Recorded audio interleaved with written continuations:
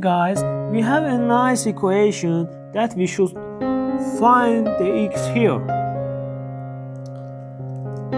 Let's go. Solution.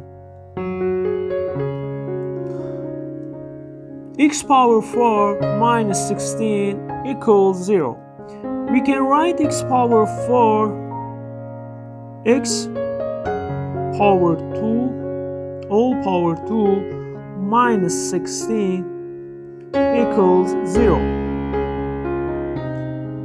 and we can write this x power 2 all power 2 minus. We can write 16 4 square equals 0 now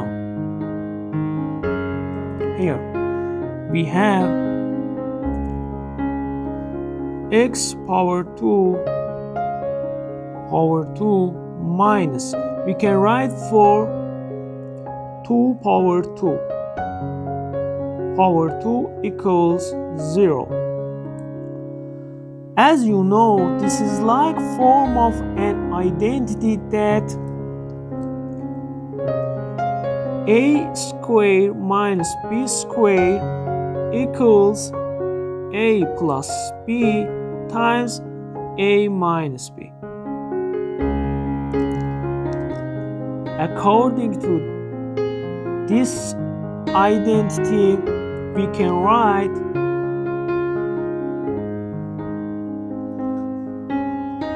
x squared minus 2 squared times x squared plus 2 squared equals 0. Now, here, we can write this x plus 2 times x minus 2.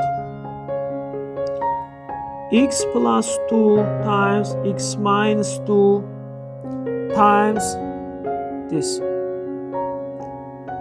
x squared plus 2 squared equals 0. Now, we have two solutions here. x plus 2 equals 0, x minus 2 equals 0. Here, x equals negative 2. Here, x is 2.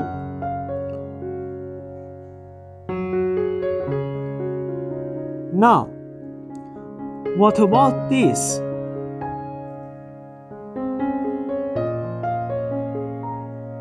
x squared plus 2 squared equals 0. Here, x squared plus 2 squared is 4 equals 0. x squared equals 4 equals negative 4. Now, we can take on both sides square root. On left side, we can cancel out power 2 with the square root. On left side, we have x. And on right side, we have 4 times negative 1 and we have 4 square four square root and square root of minus 1 as you know